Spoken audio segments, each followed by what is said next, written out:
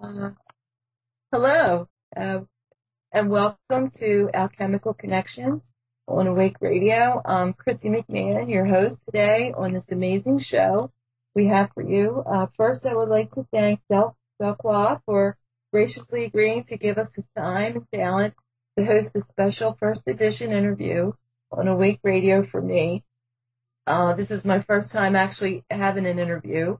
Uh, usually I'm doing some silly things like reading books or playing podcasts.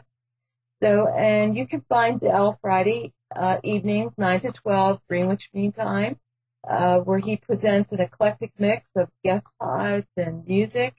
And, and that is sure to inspire and illuminate. And please check him out. Also, I would like to send an extremely large shout out to April Rain and Paula Mathers at the We War who also encourage and educate on their weekly programs. April's Tuesday, 11 a.m. and 1 p.m. Eastern Time at We and she's a world event reservation of all rights. And Paula Mather, Mathers at 2 to 4 p.m. Eastern Standard Time. Besides uh, hosting the critical mass events, she promotes for Liberty and the National Health Federation. Okay, it's the only independent organization that participates in the Codex Alimentarius Commission, uh, where they don't have voting rights, but they um, get to listen in on the decisions that they make there, and then they can report to us um, what kind of diabolical cabal plans they have for food and health domination. So it's uh, incredible uh, people that we have the privilege to work with and the work that they are doing to ensure that we, the public, are aware of what is being done globally in our name without our knowledge. It's just incredible. So back to Del, and is it Mo Cara? Did I say correctly? um, gracias, uh, nas, uh, namaste, and greetings to everyone listening. Today is February 2nd, 2013. It's Saturday, and again, I'm Chrissy McMahon, and we are live in Bensalem, Pennsylvania. We're in Ireland, and with our special guests, Bill and Cheryl Scott from Volcano, California. Um, and they got they got up very early to share uh, what I'm going to call the most amazing health reclamation experience as a result of distilled liquid in the most extraordinary forms that, as far as I can tell, have validated the claims that distilled liquids and urine therapy can and do cure all types and all forms of disease. And I want to thank uh, Bill and Cheryl, both members of the Facebook group, the, the distillery, where like-minded distilled liquid and urine therapy proponents share their experience, hope, and joy freely, and where I became aware of their motivations and pro- progress. So I'd like to start um, and also thanking our friend Andrew Norton Weber, who was uh, called us this morning and, wished us well, who will also be uh, starting his own Blog Talk radio show called Distilled Waters on Wednesdays, 8 to 10 Eastern Standard Time, uh, 8 to 10 p.m. And congratulations to Andrew on scoring that time slot. Awesome, awesome. So um, let me take a breath and wish us all peace and love and abundance because we live in amazing times. And I want to thank Cheryl and Scott and uh, and how are you both this morning? Great. Thank you so much, Chrissy, for having Bill and I. Yeah, um, excellent. Thank you, Chrissy. Oh, thank you so much, and thank you, Del, again too. Um, thank you for coming on Awake Radio to share with us your amazing distilled liquid and urine therapy adventure. So um, we're going to start, and it's up to you guys. Um, I, I would basically like you to give us a like a brief introduction, and then go into how you came into uh, knowledge of and application of distilled liquids. And and either one of you can start. So go ahead. um, I'm trying to think how how this all came about. I I know we were we were um, uh, trying to get uh, pure water. But okay, uh, do you want to introduce I, yourself, Bill? yeah, my, name's, my name's Bill O'Hara, and thanks a lot, Chrissy. Um, I live in a little town in Volcano, California, about a hundred people, and um, uh, I I contracted cancer about three years ago, and went and had, had all the allopathic stuff done to me. But um, you know how you surf the um, the internet and and listen to different programs. I was I was listening to um, Santos, and he had a wonderful gentleman on there, um, Kate of Gaia, but then I popped down. I, I, I couldn't do. I'm too old to do uh, um, the complete sovereign things. But but I popped down into Andrew Norton Weber's uh, uh, interview with Santos, and uh, by that evening I had a gallon of liquid in me. I was uh, easily convinced by listening to Andrew's presentation. Well, um, I, I'm not complaining, but treatments that I I took. Um, uh, kind of left me different. And and I, like I say, I'm not complaining because um, I am alive. And um, but um, I used to what's known as carry hod. I used to tend the brick masons, which is really a rigorous job. Um, you you would say you were the bricklayer's laborer, and um, uh, I'm not that guy anymore. But when I started drinking the distilled water, within a week, I found my energy levels starting to soar. I was amazed because um, I guess you would call that fatigue, um, chronic fatigue that comes from uh, having uh, chemotherapy and radiation and the, and the surgery put through you. Um, I was pretty loggy, and it would take me about an hour and a half to to warm up to a physical situation. And after I started drinking the water, boom, and uh, within a week, uh, 15 minutes, my warm up, and I was, uh, doing whatever, let's say carpentry work around the house or, or, um, uh, thoroughly amazed. So it's been, um, nine months now, and, and uh, I do both. I do the UT and the, um, uh, distilled waters, and my my deal, I suppose, um, would be to feel better. But after I learned all, all this stuff from Andrew and all the all the books, um, John Armstrong's books, your own perfect medicine. I think we have them all. And, um, I've even doubled up on some of them, uh, reread them, but, um, I even stand in the spot of, um, being alkalized and, and, uh, having a propensity, uh, to get cancer back. That happens a lot to people. I, I feel pretty confident I'm sitting in a spot where, uh, uh, I can't get sick again. Uh, and and and really I'm just here to to start feeling better, right? And I feel better. So if this is um, a byproduct of it, um, I rejoice. I feel really good and confident about what's going on. Uh, one little last thing is um, uh, on the spiritual side. Uh, I'm a meditator from well, I don't know, maybe 19 years now. Uh, my meditations are so much clearer. So um, um, a lot of interesting. Uh, I, I, I, hate to use this word. Uh, uh, so a lot of real interesting spiritual sideshows have been going on. So that that's about it. Well, uh, you know, you, you you skipped over the best part. Like, I really want the details. Bill, I want I want to know your whole like physical the, the physical uh, aspects of what you went through with the chemo and radiation and how um you you did some extraordinary distilled liquid um modifications. I mean, you didn't just drink distilled water or urine therapy. You you got into some wonderful, amazing things, and I, I'd love to know how that all came about. And uh, and maybe you're not ready to tell all that part of the story, so I'm trying to be a little cryptic oh, here. See, that's, that's my girl tells that's part of the story. Oh, okay. Okay. There we go. Let me share with you my perspective of Bill's journey, because some Bill was very, very, very ill. And like he said, about three, three and a half years ago, he was diagnosed with tonsillar cancer that had metastasized to the throat. And he, when we first di- got the diagnosis, it was a very late diagnosis. He had three misdiagnoses from various um, dentists and doctors, and he had four very large tumors. Um, the way the doctor in Sacramento wanted to approach Bill was to re, split his jaw open, splay his jaw completely, like kind of like a fish flaying a, a fish, a fish, excuse me. They were going to take all of his teeth out, remove not only all the lymph in his neck, but even the muscles on the left hand side of his, um, or excuse me, the right right side of his neck and shoulder. So Bill, who has been an, a construction worker all of his life, would have been unable to most likely eat again, swallow, talk again, or use his um, arm.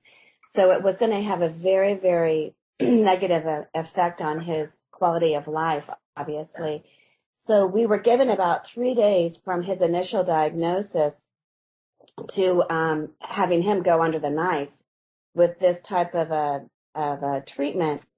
So we got online. I discovered um, that there was a, a hospital in um, the Mayo Clinic in in um, in Arizona used a robotic device. So we were able to get Bill um, his surgery there because that provided him with an 80% chance of recovery without having to do radiation or chemo. And he never, he was going to have the ability to hopefully um, be able to speak and talk and eat again. And so Bill had to live with a GT tube for several months um, after that surgery, but we were, um, excuse me, that was an NG tube at that point. And um, it was a successful surgery. He was able to continue to talk. Um, but sadly, we, we didn't do um, the radiation and chemo, which I think would have killed him at that point because he was so swollen and in such a weakened state after that surgery. He thought they took his head off. When you look at him in the in the mirror, he he looked like he was a zombie because this the surgical site was so large and extensive. But it it provided him with a better quality of life. But sadly, about six months later, he had three you know, four other tumors that came back. and this time, though, one of the tumors was strangulating the carotid artery. And that carotid artery is what creates the flow of blood and provides the blood source to the brain. And we thought Bill was hopefully cured. We were going around our merry way and we, we were discovering even on our motorcycle trips that Bill was like passing out practically. And, and it was uh, we that's when we discovered that it was the um, closing off of his carotid artery due to these new tumors.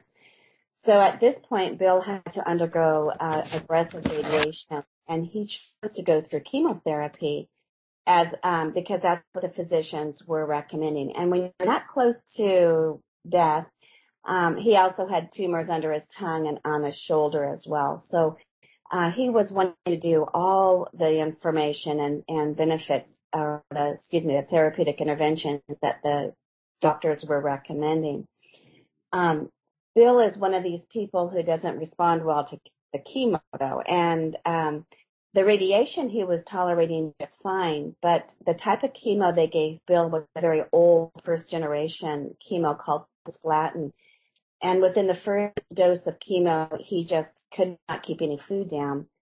The next dose of chemo, there was he was just throwing up every 15 minutes. We went through every single antiemetic to try to help him to keep his food down. He was living on a with a GT tube now by this time and receiving um like a formula 22 hours a day through an IV pump. And after the chemo, he just could not keep anything down. He dropped. He's a very small, uh, thin, slender man to begin with, and um, had always been very fit and healthy for the majority of his life.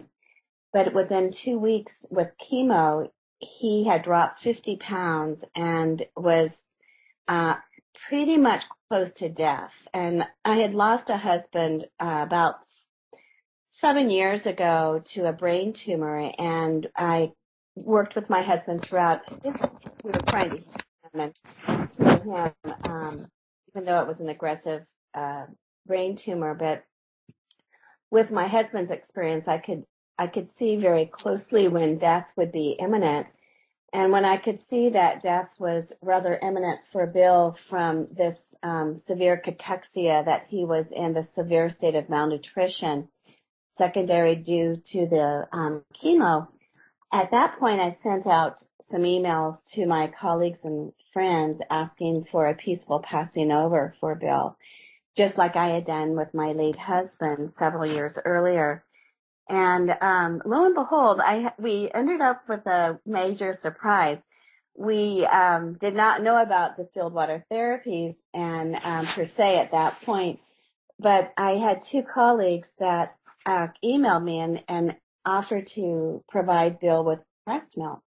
Well, I am professionally a lactation consultant and I had known that breast milk kills cancer. There's in the, if you see under a microscope a cancer cell and in the presence of breast milk, which is a form of distilled waters, um, cancer literally explodes from within. And so I knew that breast milk kills cancer, but I never ever thought about asking anyone for breast milk because I didn't think it would be ethical. Well, I had two friends who were pumping for babies and had way more milk than they needed, and they emailed me back and asked if Bill would be interested in putting this through his GT tube to see if he could digest it. And I asked Bill if he wouldn't mind, and he consented. Uh, he didn't have much of a choice. I mean, he really was, I think, within a few days of passing over because he was just so weak and emaciated. and he was still, um, he was not in a coma. He was in a semi, um, uh, awake state. And, um, so we got this wonderful mother's milk and I madly went on the internet trying to find what is a therapeutic dose of mother, of using human milk therapy for cancer. And I found out what the therapeutic dosage was. And when I received this mother's milk, I warmed it up uh, for Bill, and with a major prayer and putting Bill in divine love and light, we infused that um, into his GT tube. And for the first time in two weeks, he held this food down. And within about two or three days, we normalized his GI tract with consistent therapeutic doses of human milk. And uh, we were able to then, within about three days, get him back on track with the formula to sustain his life. Well, that was his first introduction with distilled waters therapy uh, as a adjunctive um, treatment for his cancer, and that enabled Bill to finish off his radiation. He never took another dose of chemo because I really think that would have probably killed him um, because of just the way it is with his body. And um, and then he we like he said about I think it might have been last March or so is when we discovered Andrew Norton Weber on the website, and he began um, the the ability to use the distilled water.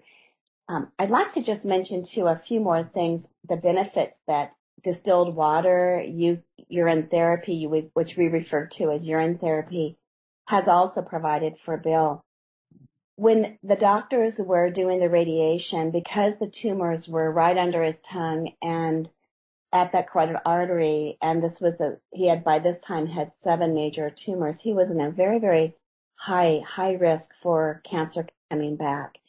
And, um, so they had to give him very, very strong doses of radiation. And so consequently, he has significant burns throughout, or it, like it was burning the tissue. Mm-hmm. Um, Absolutely, yeah. Mm-hmm. Yeah, and it's created some deafness um, on one ear because it um, kind of burned the uh, otic nerve on the right right ear. But this man who had the pros the prospect of never eating again in his life, never swallowing or tasting food, never being able to talk again, because of the wonders of distilled water therapy through the forms of mother's milk and distilled water and urine therapy, he has, um, he can taste, he can swallow, he can, he, almost all of the salivary glands have come back again, so he, he's able to actually, um, uh, have a little bit of moisture in his mouth. That's one reason why people with his kind of treatments um, lose their teeth because they, without the moisture in the mouth, they end up with uh, dental caries quite uh, dramatically, you know. And um, he, God bless him with a wonderful dentist and oral surgeon who's been working with him and he has strong integrity now of his jawbone and the teeth. He should have lost his teeth by now, but he, it's, he has just an amazing quality of life. The only thing that you, that really is affected is the hearing on that one ear and a little bit of the quality of his voice. His voice is not the way it used to be. But as you can hear, he is, he gets able to talk strongly and it's just amazing the, um, vibrancy and, that he has. I've talked to many people post who have been post chemo, post cancer treatment, and for a year or two, they they feel like milk toast, you know, after the treatment. There's no energy, Absolutely. and I know it's just amazing to see the um, quality of energy and the quality of life that Bill has. This man is Mr. Urine Therapy. You know, once, like you said, he heard um, Andrew, bless his heart, Norton Weber um, on uh, Santos and your radio interview and, and Lisa Harrison's interview. Like within that first um, interview, he had no qualms about starting not only distilled water therapy but also urine therapy, and um, it really has benefited him in just major ways. And I'm really, really um, amazed at the Bill has like this discipline plan of action and he's really consistent with the the therapies. So it's been a really yeah. fun journey. Well, Cheryl, that you know that's just an amazing uh, description of of what he had to go through, and um, I, I just just a couple things I wanted to just like kind of clarify. Um, in your letter when you sent me your email that um you had discussed uh, about the formula that they were trying to feed him before you uh, found out about the mother's milk. Can you just kind of describe um, like what they were feeding him um, yeah. um, before he was, you know? Right. Yes. Well, it was really a challenge for us because we really do try to live a healthy lifestyle as best we can. And like when we had found out about his first cancer and um, we when once we found out about his cancer, he Bill had um, a dietary lifestyle actually prior to that of being a very heavy carnivore, and um, because he worked so hard out as a hod carrier, you know, tending to the brick masons and all these construction sites, he all his life ate heavily with meats. And um, in his earlier days, he did a lot of um, smoking, and so that might have contributed to some of the cancer years ago and a lot of heavy drinking in his earlier days, and those were high risk factors for the tonsillar cancer. So, um, mm-hmm. right. So once, so once we got that diagnosis, Bill um, started into more of the um, uh, more the not raw food, but a, a vegetarian type. Not really t- completely 100% vegetarian, but he started eating a lot more greens and more holistically. We began juicing a lot for him and even in fact, uh, bless his heart, his brother from Texas, because um, we didn't have a lot of money, and to get to the um, Mayo Clinic, his brother in Texas assisted us with financially being able to stay there on their because the Mayo Clinic um, they'll do the surgery for you, but then after your three or four days in ICU, they boot you out to a hotel at your expense. Mm-hmm. and Bill, we were going to stay in his little trailer with his dog, and that's 115 degree weather out on the. Oh yeah. you know? wow.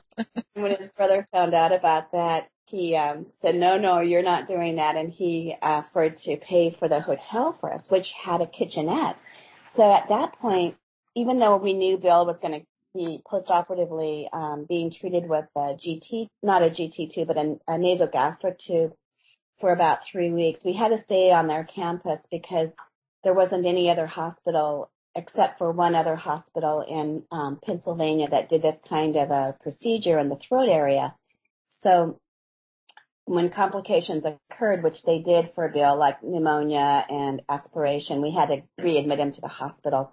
But meanwhile, what we were doing was we took our champion juicer and we were juicing up all these wonderful living foods and really boosting Bill's immune system with the living food. Right. Well, uh, the doctors and of course the registered dietitians, their form of nutrition was this formula, which is made completely from GMO corn syrup, GMO soy, all these chemicals. There's no living foods in this. And uh, we didn't tell them that we were juicing and doing all this for Bill, but we were so blessed to have a Whole Foods down two miles away from us, and his, provided this nice hotel with a um, kitchenette and provided us allowed us to, you know, he even flew us there in his private plane.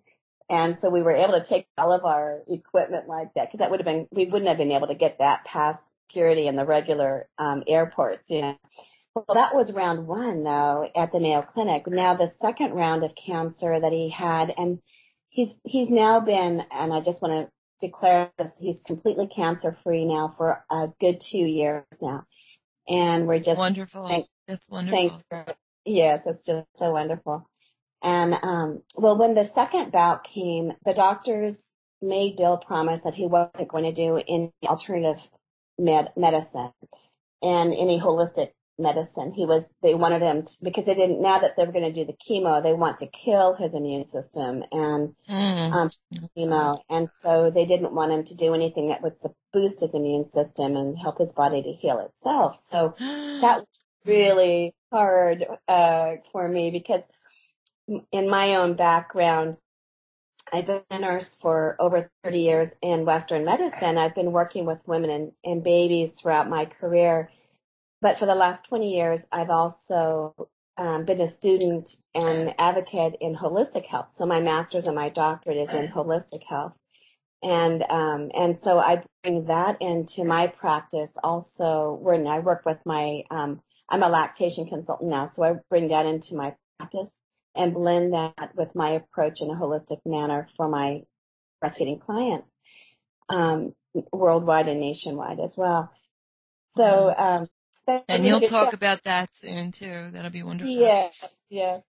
So um, anyway, with Bill's um, second round, then when when they put the GT tube in, this was really an interesting story though because I um, see I work full time in a hospital, but then I speak nationwide. And when they were doing the second time he got his cancer, I had already been booked to speak in Hawaii, and Bill and I were going to go as a vacation um, since it was a fun place to speak. And it was a week before is when I ended up um, with this. Well, Bill ended up with this diagnosis of the tumors all throughout his throat. I could not cancel my speaking engagement. Bill was scheduled to go in for a GT tube. They would not let Bill go on this trip because we didn't know if he was going to survive even a, a, another five minutes, you know, or an um, a plane trip versus a holiday over there. So um, I went over there, just did my speaking engagement, and then I I caught the first flight I could get back, and I was so grateful because I was able to make it there for Bill's GT tube placement that they had to place before all the aggressive radiation. And had I not been there, it was really amazing because um, they overdosed him when they were putting the NG tube, the GT tube down him. And so in the recovery room, um, he would not come out of his very well out of his anesthesia that they had overdosed him for that GT tube placement. The nurse had gone on her lunch break. I was the only one there with Bill and he coded. He completely. Oh my God. And had I not been there, he would have been on the floor off that gurney dead. And, but I was able to initiate a code blue for him and, um, and get, you know, get him back on track. But um, anyway, once we started the um, the radiation, then he started to get fed 22 hours a day with this formula, which is made again from all the GMO stuff, which really broke our heart because we had tried for that year ahead of time and just flooding his body with all these living nutrients, you know. Mm-hmm. Yeah. Yeah, that's and and that kind of brings me to the uh, my second point was I too had gone through cancer. I had um uh, uterine and cervical cancer, and, and I had very mild form of uh, chemotherapy, but the radiation was the, the devastating part, and I had the seeds, and I'm sure you know what that is. Yeah. And um, I can just imagine what Bill went through, and I, and I just wanted to like reiterate the damaging effects of the radiation can be like way higher than even the chemotherapy that they um they offer as a as a course of of corrective treatment, which is really not at all in any sense of the word uh, curative. I think it's really made to kill you, and uh, and it's funny that you even said that that they wanted to make sure that you didn't do anything to boost his immune system. And I like, what's the rationale for that? I mean, I can't even fathom. I can't that, fathom either. Oh, just I, I did that really yeah, it, it's really hard. When people are in that decision to see what the doctors want, I, you know, the doctors make it sound like holistic health is not going to work. It's, it's ineffective and they put all their confidence in radiation and chemo and it's really, um, for some people it works, but for so many people it's pretty devastating. But, you know, you, you, when you have cancer riddled throughout your body, you're going to do whatever they want you to do. And I don't want to undermine the confidence actually of people because what we believe really is very powerful. And absolutely too. Yeah.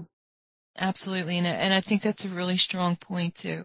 That your faith in in the process probably contributed a lot to Bill's uh, recovery, um, despite like the formula that they were feeding him got no nutritional anything, and um, and I, I'm sure it's the same thing that we feed people where I work at the two cal. It's like this brown muck, and if you drop it on the carpet and it dries, it turns to cement.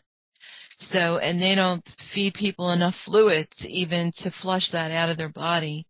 So they're right. constantly constipated, and it's just it's just like a horrible uh, yo-yo uh, thing where they're they're you know either giving people things to help them go to the bathroom or yes. giving them fleets and and you know and feeding them this garbage and it just you know it just breaks your heart when you think is this the best 21st century science can do it's just right. like amazing absolutely amazing that you know and not to undermine anything but but to you know get back to the the holistic the whole foods the the nutrient rich live enzyme full of juices that you were probably making for him prior to his second bout of uh of cancer. So it's just amazing.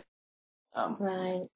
Chrissy when i was at the um, mayo clinic and we were juicing uh, in the hotel I I got uh, pneumonia and I had to go back to the hospital, so I had to do that stuff. And then when I went to the restroom, I looked behind me and it looked it it was just laying on the top. It looked like a flip flop. It wasn't, you know, you know what I mean? flip flop. yeah, yeah, continue. yeah, like rubber. Yeah, it's artificial. Yeah, it's completely artificial. It has nothing to do with food. Not absolutely nothing. Bill uh, said, "How did that flip flop get in my toilet?" You know, it was like yeah. gross. uh, you know, um, I, I look back on that situation, and uh, on the on the spiritual side, I I was told to to um um um reverse my direction, change my direction, and I I really didn't want to, and we did some alternatives that came out of El Salvador and whatnot.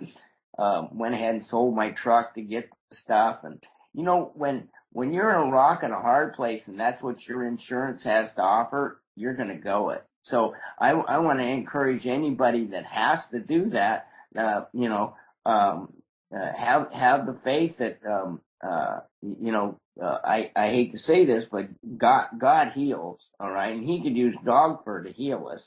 Uh, but um, uh, af- afterwards, uh, the distilled water really perks perks you up and makes you feel so much better and and become more awakened.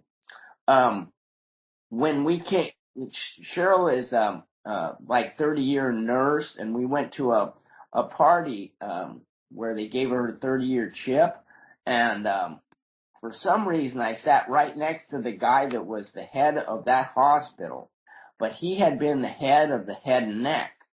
And I just had that surgery and he sat there and looked at me up and down with that fancy robotic scars I had on me. And, uh, he said, you know, Bill, this stuff is treatable. And I, I didn't want to do the other rounds. That's, you know, that, that was rough enough. And, and especially so soon. Um, and on the way home, we were up in the mountains. A coyote came right out in front of us, stopped and changed directions. I'm not saying that I w- went and did the um, allopathic medicine right away, but I got in that rock and hard place, and that's the insurance I had at the time. So, um, uh, you know, it's it's kind of weird. I I still go back to the chemotherapy people and show them that I'm alive and whatnot because they got that's a that's a rough job. You know what I mean? And yeah. uh, that let alone getting people so sick and then uh not having much success. I, I like to go encourage them. That and yeah, I appreciated what they did. I appreciate what you're saying, Bill, too, because we often, those of us who are in holistic health, it's easy for us to um, cast stones at those who are in Western medicine. Um, but so many, those of you, like I'm sure you have experienced this, Chrissy, that the people, the healthcare professionals that have, were helping you, in their heart of hearts, they really think they are helping you. True. And they're trying to do what they, the doctors, the nurses, the chemotechs, all these people really feel that they're trying their very best to help you. So um, it's just yeah. sadly, many of them are blinded to these other alternatives, and a lot of it is just due to ignorance. You know? Yeah, and it's ignorance, and as we talked before, it's I think it's a combination too that they get a superior attitude, and and not not to like to be condescending or you know to speak down about them, but I think at, at some points uh, when you have like a medical degree or you you work in that field, you tend to think that well, you know, I I'm in American medical system and we have the greatest medical system in the world and there's nothing better than this. And when when you really uh, step back and take a big view of like what's what's possible, the possibilities, which most people and I'm saying 90% or more have no idea of the alternatives, um, you, you really see how limited your options are. And um, there there was something else I wanted to say, but I'm talking too much, so I can't remember. but um, but uh, I think it just um, I, I think it's just amazing that oh, it has to do with well, not wanting to uh, you know, denigrate Western medicine, as you said. But you know, how do we uh, re-encourage? And and Bill didn't find out about still liquids till he was at the end of his second round or at the beginning of the second round. I just want to clarify uh, that. Uh, well, as far as the uh, human milk therapy, I had always known about that, but I it never I never thought about using that for Bill because um, he had made a promise one thing to his doctor not to use um, holistic practices with his second his see a second bout of cancer he was working with a different group a medical group the first bout of cancer mm-hmm. we were working with a medical group um, three different medical groups really all together and so um, the first two medical groups with the first bout of cancer we used every holistic modality I knew of. We had Bill on the Gerson therapy, the Budwig protocol, the sodium, you know, um, uh, bicarbonate protocols, and the just all this many many different types of um, holistic health protocols to keep him in an uh, alkalinic form, etc. But then, um, of course, when we did the surgery, we were flooding his body with the nutrients, but by the time the cancer came back the the next time, um, then we and he made that promise to the doctors. Then that's when um, the only holistic practice we did was the mother's milk, and and we were at the point though at that point that he was so close to death, and um, that was I in good conscience, I was so grateful that Bill consented to allow my friends to Pony Express their mother's milk up to us. And I just wanted to just, I don't want to um, cry here, but it was such a precious thing because mm-hmm, absolutely at the apex of Bill's um, challenges, and he was so so sick um, uh, that my we I, I had colleagues from the greater Sacramento area who, unbeknownst to me, when they found out that he responded to Mother's Milk, began this Pump for Bill campaign. And we had initially like four primary donors, women who were um, pumping extra milk, what their babies didn't need. They would send us to Bill. I had one grandmother who was a La Leche League member from Fresno who was babysitting her granddaughter and her daughter pumped so much milk she had excess amount in her freezer and she would um FedEx that to us on ice just so that Bill could live. And I remember this one time a young lady had found she lived in Tennessee and Nashville, Tennessee. She was vacationing here in California. She heard about Bill through the grapevine because these women who breastfeed are just so proactive and loving. And um, she while she was in LA going to Disneyland, she's pumping and then taking the time to get dry ice, get a, a like a little um, ice chest and FedEx her milk to Bill because she wanted Bill to live. Isn't that just amazing? Yes, uh, it is. Uh, you want I want to talk about being blessed, and you can see I am um, with this with this wonderful lady. Um, uh, yeah, she had to yeah. three times. Um, was um, how how she snuck it in was really cool because I'm in the hospital. I gotta stay there. I uh, I uh, she worked two floors down. That's where right. she worked, right in the same hospital. So I was only a couple floors up, and she could bring bring in and infuse me. Um, yeah, it was. Uh, yeah, well. Uh, I don't see anywhere there was any luck. I've, I've just been blessed. and I was supposed supposed to uh, be here, and, and these are all the modalities we get to get to to do. And um, uh, absolutely about people that can't quite get this thing. We're we're offering something nowadays with this distilled water that clears up the pineal gland, and that's why everybody's so closed down. That fluoridated water just just makes people believe the the the dark side and whatnot. And uh, this is like a really, really uh, neat message that we have to offer as as far as a, a basement floor kind of thing. That uh, wow. Uh, yeah, you might be right. You, you might be right, Bill. That's that's a that's a good way of looking at it.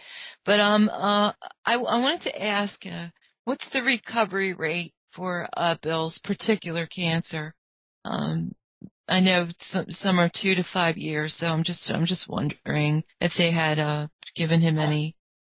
I, I, it was it's pretty lousy in the beginning, got it, but mm-hmm. if you get past the point, the uh, the doctor the other day says, "Oh, good, we breathe pretty easy once you get to two years."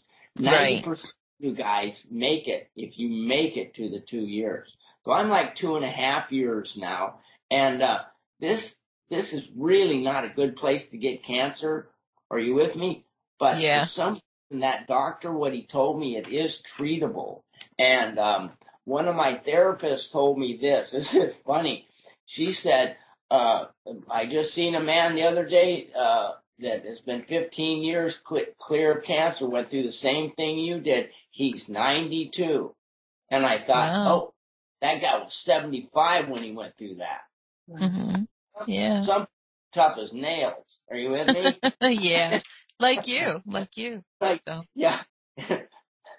But, uh, yeah, um, I, I wanted to just yeah, share uh, also a little bit about um, how Bill has been using the urine therapy in his um, recovery, because um, one of the things that um, Bill his challenges is that with all the burns on his outer um like uh neck and with the scar the original uh surgery at the Mayo Clinic it was basically from ear to ear. It just looked like they took his head off basically. It's a very big mm. scar.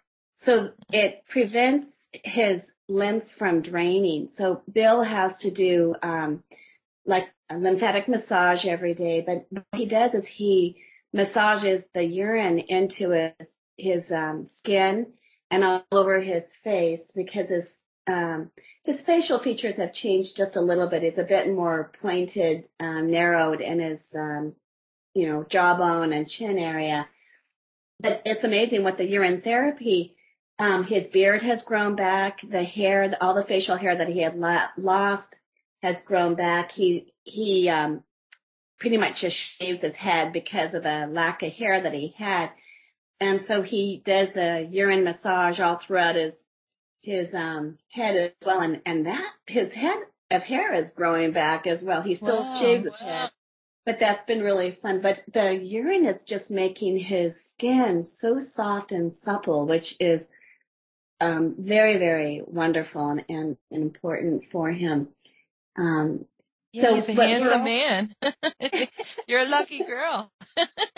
I know. And well, I am in so many ways. We're so blessed to have each other because it's just a wonderful partnership that we do have. We have different strengths and um, that we can bring to each other in this way. Um, so yeah, yeah. yeah. And um, if, I think uh, there was one other question that it would go to both of you because you haven't had a chance to even talk about your experience. But um, do you think um, if uh, something happened again to either one of you uh, or some or some loved one in your family or somebody you're close to, uh, would you consider encouraging them to use urine therapy uh, strictly instead of doing any kind of Western uh, medical treatments um, as a corrective, curative for um, for cancer or, or or like any kind of thing? Because I'm thinking from from my own understanding of urine therapy and distilled liquids that um um we we're we're born in in urine you know when we're uh, gestating in our mother's womb uh it's the first um three months is our mother's and then the last six months is our own and and nothing in our body is developed without the urea and you know all the nutrients that are available in in urine. And i'm and i'm just wondering like um if if bill had had the opportunity and the knowledge um uh you know with hindsight we can't really you know speak about it but um would that be a possibility if you know god forbid something did happen? And maybe it wouldn't be in the same area maybe it would be somewhere else which i can't see that happening being on the distilled liquid uh, uh lifestyle but um you know would would that be an option Yeah, absolutely. I um I I, I do carry this message, and and uh, a friend of mine uh, contracted the same kind of cancer. Me and him were alcoholics together when we were kids and on through our our adult lives, and uh, he got the ca- same kind of cancer as I did, and he's still drinking. But but I I brought to his attention that, and he wasn't going to go go do anything about it. Uh, but I brought to his attention, go, go get diagnosed and we'll take pictures of you and get, get it off to Andrew Norton Webber. I was encouraging that. But, Good. but I, I, I told him, I said, even if anybody, if, even if you were diagnosed tomorrow and had all the stuff set up for you, it's going to be two months before you get there. So you may as well, uh, go ahead and, and do urine therapy, distilled waters until uh, you you get to go in there and have the cancer be gone already. You know Good that's thinking. that- yeah. now that's that's my advice because the rock and the hard place and the insurance we got and what they have to offer is that okay and uh uh but but uh well that'd be that's the first thing I I tell people uh, just get on that as quickly as you can read John Armstrong Strong's book John Armstrong says cancer is child's play Wow. you know, there's a, there's a man that uh, healed tons of people, and uh, it, it it is probably a, a crime trying to keep this stuff hidden. And you you know, as you drink urine and you go, "Wow, this beverage isn't bad," I wonder what else they're lying to us about. Are you with me? You know, I, I don't get pissed off, but it's it's just uh, very interesting that uh, um, uh, uh, I get my gallon a day before I get up in the morning.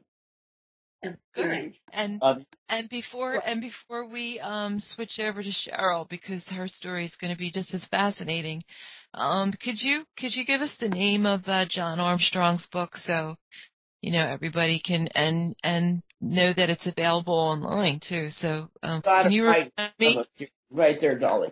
It's called The Water of Life, a treatise Mm-hmm. on urine therapy by J.W. Armstrong. Have you read that yet, Chrissy?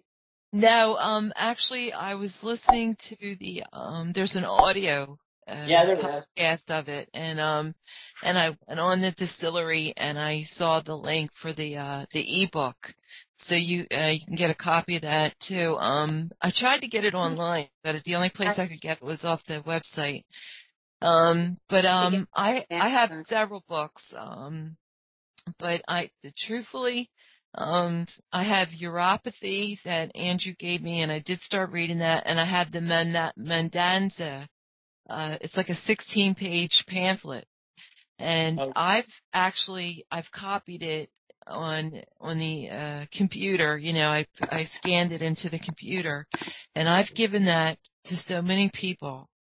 And I even have a woman at work, the, uh, the receptionist who, uh, took it home, to, uh, took the book home. I let her borrow the book and, uh, over the holiday and her and her husband went through it and it's all distilled liquids. It doesn't so much talk about urine therapy, but she she just absolutely agreed with it, and her and her husband were going to try it. And I haven't had a chance to talk to her about um, any results or you know what how they've been uh, doing with that. But most of my uh, information about urine therapy is is strictly my conversations with uh, with Andrew Norton Webber, as you said, his interviews. Uh, I've listened to almost every single one of them at least twice, and uh, uh, you know, and just uh, and his conversations with Santo Bonacci because uh, Santos is a is a big proponent of uh, distilled liquids, and but uh, he goes off with the salts, and Andrew's like, you know,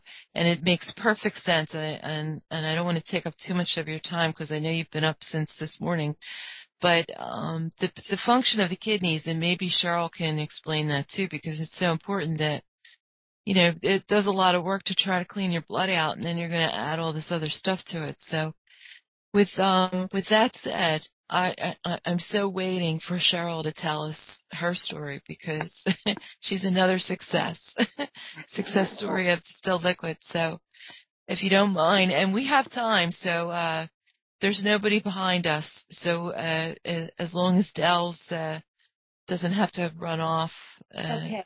you know, we're we're good to go. I I have one more thing to say about the urine therapy, and this has nothing to do with anything. Uh, for uh, but I did notice I I don't eat meat anymore. I don't know if that's good, bad, or or whatever, but that's not in my diet. And Yeah. I think that's a uh, byproduct of drinking his urine because I, as I mentioned before, um, Bill has always been on a quest, a spiritual quest and very, very, um, following various paths and people of many of the different spiritual kind of groups that he's worked with are vegetarians or vegans and he could never get to that level nor wanted to. But when he's been on his urine, you just don't want to eat meat. And part of it is because the taste of your urine just uh, is like, yeah, you know. Yeah. Well, ho- Yeah. However, it, however it does, this distilled liquids balances things out. It's so simple. You know what I mean? But people are all trying to do diets and whatnot. You just do that, uh, amazing things will happen. You'll have a shift in consciousness. Um, uh, I'm way on the roof with this. I'll let you talk to my girl. Wonderful. Absolutely. No, you just wonderful, Bill. I, you know, your story is amazing, and that with the two of you uh, to share it with us, it just um it just is a is a very loving and and spiritual journey that the two of you are on, and and the things that you went through, and the things that Cheryl was able to help you through with is is just it's it it's just such a wonderful confirmation of the restorative uh, properties of distilled liquids, and and and and we don't know like we don't we don't we never even talk about uh, mother's milk. I mean that was that was never have been in the conversation. So for for that to even be brought up and and to find out that you know here is somebody who couldn't eat you know, on death's door and, and so lovingly people were on a mission to, to express this to you that, um, it's just, uh, it's just amazing. It's just an amazing story of love and hope and joy. And, um, and, and I can't wait to hear Cheryl's. well, just as a conclusion about the mother's milk thing, I, I consider it like a distilled water, one of the forms of distilled water, because when you look at urine, urine is primarily it's very, very close to the plasma of our blood. Um, the constituents are very um, similar. And mother's milk is made from our blood supply. In fact, as a lactation consultant, when I'm doing an assessment of my mom's, one of my most important things I'm looking at is the the quality of veining of her chest. When I see a mother with prominent veining on her chest, to me that's a very reassuring sign that she's most likely going to be able to make a good amount of milk. Absence of veining, it's a real high risk that that mom's going to not be able to make milk for her child. And so, um, mother's uh, milk, I think, really is a, a dynamic, living uh, liquid. Obviously, just like urine is a dynamic, living liquid, and we are just so thrilled to have an awakening and um, for Bill and I, and the um, one another gift that God has given us that has always been with us, but it's just been hidden from our knowledge. And we, I don't know why we've been given this illusion that urine is um, yucky and it's a waste product. And thank goodness Andrew Norton Webber in the graciousness of his heart and soul is uh, dispelling these uh, the the myths and um, tearing down the veils of illusion for us all. so it's a really fun journey.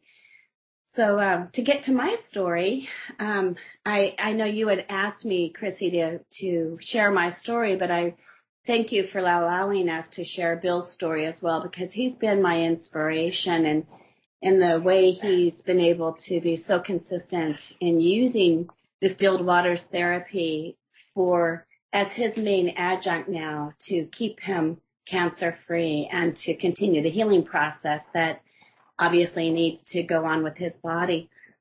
well, my story is that um, I am a middle aged woman and I um, have been a professional uh, for the last 30 years.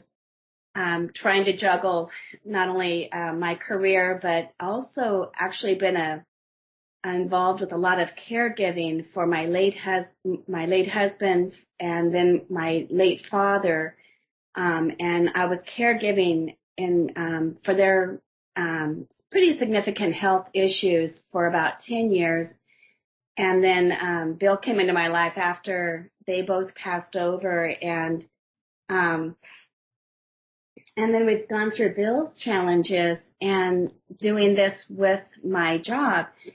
So consequently, I kind of put a lot of my own health issues on the back burner, and sadly, I haven't been um, consistent with good dietary, consistent dietary habits. If I'm stressed, I'll eat uh, cookies or you know wheat products, which are not good for me, and and I haven't been able to get consistently to a gym. I for the last two or two years or so, once Bill became healthy, I've actually began doing a lot of speaking engagements. For instance, like this past year, I've spoken in 45 different cities throughout the country with my full-time job. So poor Bill's been lucky to see me. Some months I'm home two days a month, just basically changing my suitcases. But um, and and but it's been wonderful in one way because I'm able to um live and and fulfill the passions of my life and the uh, the messages that I feel so strong about and in uh, the work that I do. But um and I get a lot of stuff done around the house. And Bill does. I bring the money in, and he's getting a lot of things done around the property. We have a healing center basically up in Volcano, and and it's a wonderful place for um health and recovery of so many people who come our way. And um, so it's a great partnership, like I, I shared. Well, um, I as I I come from a female lineage personally where the majority of the women in my family end up with significant arthritis, either osteoarthritis or rheumatoid arthritis. And like my mother, my, my twin sister, my mother, my grandmother, all of my great aunts have been either crippled, completely crippled from arthritis, um, where they're living their lives in a wheelchair, or they've had all their body parts pretty much replaced um, from the destruction of arthritis. And as a young woman, I vowed that I was not going to succumb to arthritis. It was just not going to be a part of my reality. So I never ever tried to engage those kinds of thoughts, those thought forms that would um, perhaps bring that to me. Um, and so um, this earlier in this last year in 2012, um, I I really knew that I should be starting to exercise more and because I noticed it was a little hard to often like um if I've been sitting at my desk charting, I I it can take me a while to get up and move and walk properly and but I'm thinking it's just my lack of, of exercise and and I am 40 pounds overweight and I know that's not good. So the, I I had a breastfeeding cruise and I took Bill on that last year and um I thought great I have a, a gym for a week on board the ship. And so Bill and I made a commitment. We were in that gym every morning. We, our floor was the second floor where our room was and we would walk, um, to the gym 11 flights up, which also happened to be where our restaurants were. And so we would be walking those stairs and doing, um, not only the, the stretching exercises for me in the morning and then the full circuit in the gym, but I also had a body trainer, I think, no, a personal trainer, and I did a boot camp. And um, my first clue should have been that out of 1,500 people on the ship, there was only two of us in this boot camp. camp. it was me But I was Aww. like determined to try to get myself strong and healthy and kind of jumpstart into a good um, physical routine when I got back home. Well, that was the worst thing I could have done because um, on that last day of boot camp, it, which happened to be the last day of that cruise, um, the personal trainer put me through a routine that just killed my knees. And I didn't think I had arthritis at all. I had no knowledge that I had arthritis. I just was very ignorant of not listening to my body for uh, several years. And um, and again, you know, I'm never going to entertain the thought that I have arthritis because I didn't want that to become a part of my reality. So I um, thought, well, I just tweaked my knees and time will be the healer. And I was just kind of working with it. And I got, I was speaking out in your state, uh, or no, Chrissy, it was in um, North Carolina, close to where Andrew Norton Webber is. Mm-hmm. And I got to the point where I could barely, I could barely stand. I had to stand on my feet all day for the seminars, and I could, I was having to drive from uh, town to town. So it'd be like a one to a three hour drive to the next city where I'm speaking. And I couldn't even put my foot on the pedal. I was in such pain that every step I had to calculate. Do I want to take that step? Do I need to go here? So I never even got into, um, uh, went to a pharmacy or a store because I just, I didn't know if I could make it into that store and back to the car and then on to the next hotel.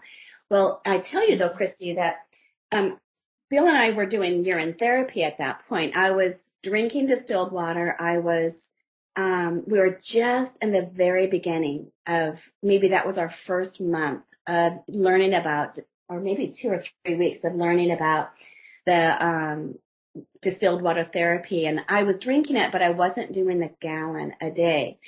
And I want to just really emphasize this to those people who are listening to this, that the true therapeutic effects, if you have a major chronic illness like cancer, like Bill has had, or the osteoarthritis like I have had, um, you, in order to really get the therapeutic effect is you need to be drinking one to 1.5 gallons a day of the distilled water if that what Andrew Norton Webber says, pound a pound to exert a pound of pressure to remove these inorganic minerals that in my case creates all these mineral deposits throughout my joint. I didn't realize I have had significant osteoarthritis in my shoulders and my elbows and my hips as well as my knees and my um, ankle area. It was just my knees that were giving out because I, I tweaked them so much in that exercise routine I did. Well, when I got to that airport trying to fly back to Sacramento, you know how they'd have you take your shoes off as you're going through, and I never go through those body scanners, so I took my shoes off. I could not move. My knees just said no more. And the man is saying, "Okay, uh, ma'am, you have to move along," and and I just couldn't move. And he said, he said, "Do you need a wheelchair?" And I just smiled at him, and I, but in my mind, I'm thinking, "Great, I'm 50 something, I'm fat, and now I need a wheelchair to move." you know, way more than I could handle.